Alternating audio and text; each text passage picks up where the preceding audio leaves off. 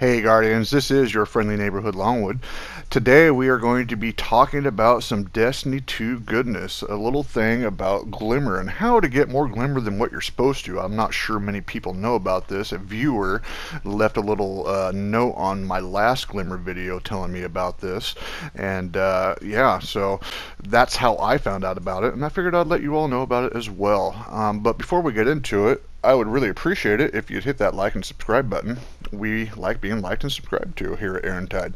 All right, so give a little special shout out to uh, Irish, the Jewish bear. He's the one that grabbed this video clip for me because he's the only one I know that has this ship. Now, how you get this ship? The ship is called the Platinum Starling.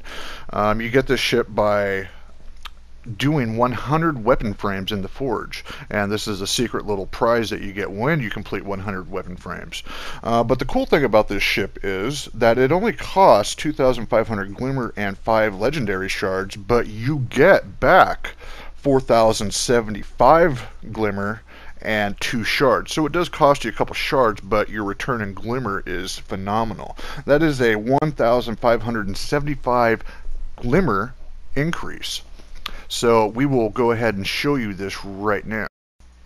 So as you can see here, get into your inventory, cost a little bit, you know, the 5,005 shards, but then when you come down here to dismantle it, watch what happens. It's the glory. And paching, love that, right? I mean, look at that. How can you go wrong with this?